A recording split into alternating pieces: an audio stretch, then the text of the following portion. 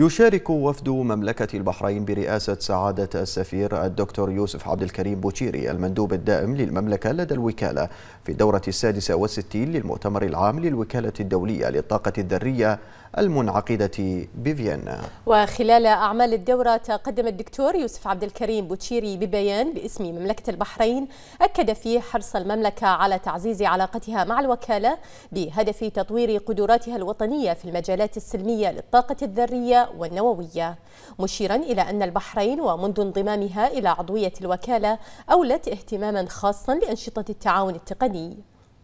كما أكد أن مملكة البحرين تسعى جاهدة كدولة طرف في جميع الاتفاقيات الدولية في مجال السلامة النووية بالوفاء بالتزاماتها وتقديم تقاريرها الوطنية بشكل شامل.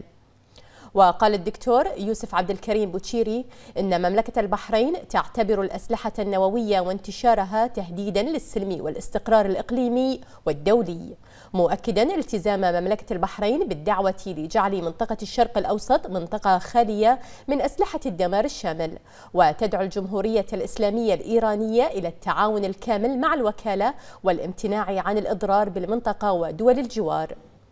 واختتم رئيس وفد مملكة البحرين ببيانه بالتأكيد على تطلع مملكة البحرين إلى المزيد من التعاون المثمر والبناء مع الوكالة الدولية للطاقة الذرية والدول الأعضاء.